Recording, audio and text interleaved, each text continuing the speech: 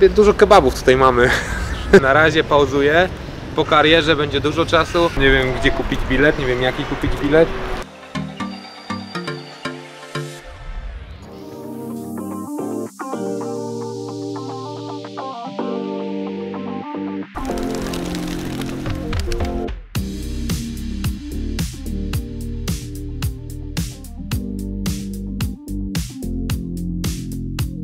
Bydgoszcz w dawnych wiekach. Rok, gdzieś tutaj był, nie ma chyba roku napisanego, ale to jeszcze jak widać byliśmy grodem. I gdzie my jesteśmy? Dobrze, może nie róbmy sobie złej reklamy. Gdzieś tu jesteśmy. Gdzieś tu. Toruń ma pierniki, e, wiadomo, kluski śląskie na Śląsku. E, co jest w Bydgoszczy? Jest coś takiego? Nie wiem, czy szczerze mówiąc, czy mamy coś takiego bydgoskiego. Nie, nie, nie orientuję się. Y, Ja lubię, dużo kebabów tutaj mamy. Także dla każdego coś się znajdzie.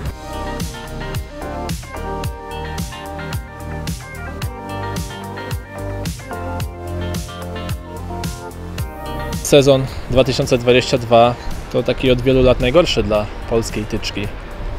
Najgorszy dla polskiej tyczki, najgorszy dla mnie. Eee, No i co, chyba trzeba go puścić w zapomnienie i brać się do roboty, żeby z dołka wyjść. No, ostatnie 3 lata dla mnie nie były zbyt ciekawe. Ten sezon był zły, ale po, po ciężkim czasie przychodzi dobrobyt i, i tego się trzymam.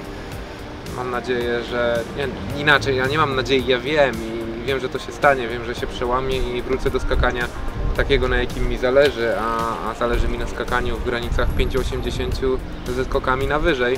Ostatnim takim sezonem, w którym e, nie było medalu, był sezon 2012, rok po Twoim Mistrzostwie Świata, więc historia zatoczyła około po 10 latach. Spodziewałeś się, że po takich sezonach, gdzie czy Ty, czy Piotrek Lisek, czy Robert Sobera zdobywaliście medale, cieszyliście nas tymi medalami, przyjdzie taki sezon, że nie będziecie mogli tego wszystkiego poskładać do kupy? Nie, szczerze, szczerze mówiąc nie spodziewałem się tego, bo te lata e, od 2014 do 2018, 19 chociażby w moim wykonaniu były takie, że to skakanie na poziomie 5,80 to wydawało się łatwizną. Wszystko przychodziło łatwo i myślałem, że to będzie szło do przodu i nigdy się nie zatrzyma. A tutaj e, nagle w 2019 roku złamana tyczka e, pochrzaniła wszystko, że tak e, nieładnie powiem. No i, i nie tak miało być, ale no, taki jest sport i na, trzeba też umieć przegrywać. E, ja mam nadzieję, że wyciągnę z tej nauki wnioski. Ciężko Ci było, kiedy widziałeś, jak nie idzie Ci mm, na skoczni? Zdecydowanie ciężko. No, stanąłem przed y, pewnym wyborem, czy schować się, trenować i nie skakać, ale zmniejszałem swoje szanse na, na to, żeby było lepiej na poprawę czegokolwiek, bo jak się nie skacze, no to o, nie ma o czym rozmawiać, a myślę, że zawody są tym czasem, y, w którym może, możemy się poprawiać. A kolejnym wyborem było to, żeby wyjść i narazić siebie na skakanie w granicach 5,20, 5,30 z, ze sporymi problemami. No i tak w tym sezonie było, ale no ja jako fighter przejmowałem się. No na pewno gdzieś to do mnie docierało, ale przejmowałem się tym, że sam sobie nie potrafię wytłumaczyć, dlaczego jest tak, a nie inaczej. No i, i cóż, no było 5,30 i oby już więcej się nie zdarzyło. A przejmowałeś się tymi głosami, które na pewno do Ciebie docierały, żebyś dał już sobie spokój? docierały takie głosy, ale to myślę, ja chcę na swoich zasadach. Ja nie chcę skończyć, y, bo muszę, chcę skończyć wtedy, kiedy ja zdecyduję. Przepraszam, że pana zapytam, bo mnie to męczy. Pana widzenia Nie wiesz skąd. e, skoki po tyczce, no właśnie.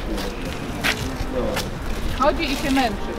Mistrz świata i mistrz No. Europy. A co, Nie Przestał pan trenować? Nie, nie, mnie nie. Do, do igrzysk na pewno. Bo tu macie taki dobry stadion chyba, prawda? Tak, stadion tak, czekamy na dobrą falę. Często się zdarza, że ludzie cię zagadują tutaj, jak idziesz na spacer z żoną czy sam. Zdarza się, no co by nie mówić, Bydgoszcz jest dużym miastem, ale ludzie żyją sportem, yy, przeżywają to, co się dzieje z bydgoszczanami, z mieszkańcami tego miasta, także zdarza się, że ludzie mnie zaczepiają, jestem myślę o wiele za bardzo rozpoznawalny niż, niż na to zasłużyłem.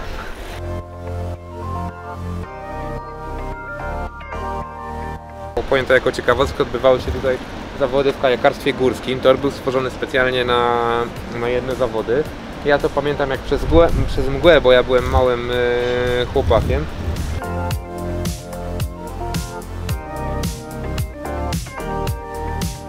Lubisz obserwować inne sporty? Lubię, oczywiście. Poza lekkoatletyką? Oczywiście, że tak. E, moim takim ulubionym sportem jest e, tenis stołowy, którym się dość do- dobrze, dość, dość mocno interesuję. I, A grywasz sobie tenisa stołowego, jak masz okazję? e, lubię. Bierzesz przysłowiową paletkę i, Rakie- biorę i odbijasz? biorę rakietkę i gram. E, przyjmijmy, że nie jest to tenis stołowy, a bardziej ping-pong. E, no, daleko mi do, do profesjonalistów, ale lubię jako odskocznie. Wyciągam z tego e, korzyści w treningu. Aż mnie korci, żeby wziąć wędkę, za- zarzucić, połowić. Nie mam czasu. Nie startowałeś w Mistrzostwach Świata czy Europy, czy w halowych Mistrzostwach Świata? Połowiłeś trochę? Krzyżówek y, trochę rozwiązałeś? Ja nie połowiłem, e, ale teraz mam nowe hobby. E, Dbam o trawnik przy domu, także to też zajmuje dosyć dużo czasu. Kosztowało mnie to wędkarstwo.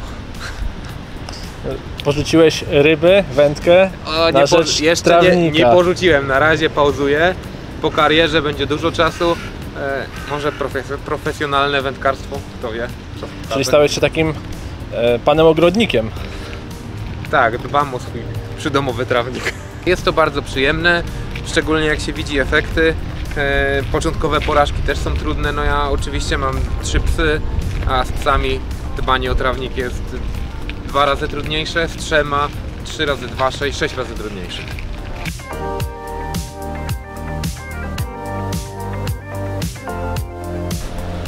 Zresztą jako ciekawostkę mogę powiedzieć, z tego Ko- sportu uwaga, kolejna ciekawostka Pawła Wojciechowskiego. tak, jak, e, mam nadzieję, że potwierdzi osoba zainteresowana. No to nasz e, prezes Sebastian Chmara wywodzi się właśnie z kanadykarstwa, bo to był jego pierwszy sport.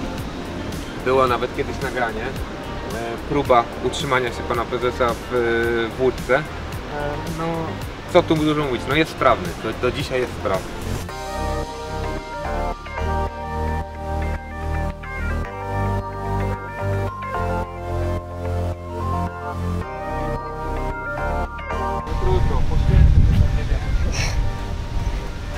Ja cię nawet nie prosiłem, żebyś tam siadał, ale widać, że marzyłeś o tym po prostu.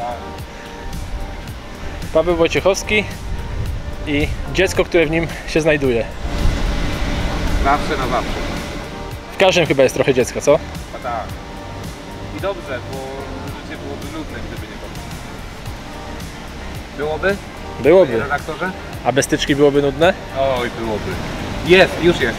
Miesiąc wolnego jest bardzo nudny. To czym zajmowałeś sobie głowę, czas, kiedy nie brałeś tyczki do ręki? Takie ulubione, no poza trawnikiem oczywiście.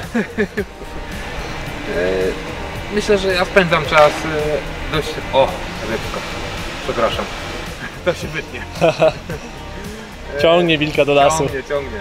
Ja regularnie spędzam czas oglądając dobry serial, czekając na niego.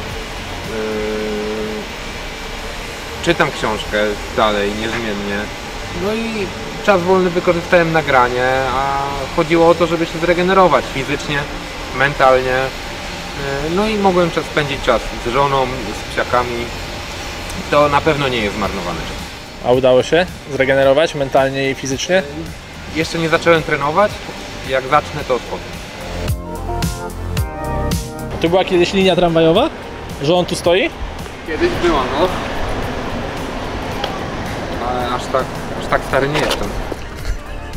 Ale byś się poruszać komunikacją miejską? O nie, nie umiem, nie, no czasem Zgubiłbyś się, nie wiedziałbyś jak dojechać z punktu A do punktu B. tak, czasem z Olą wychodzimy i mówię, dobra chodź teraz jedziemy tramwajem i, i szybko mi mija, bo, bo czekanie na przystanku, bo nie wiem gdzie kupić bilet, nie wiem jaki kupić bilet. E, no i tak jakoś dajemy sobie radę, ale lekko nie jest.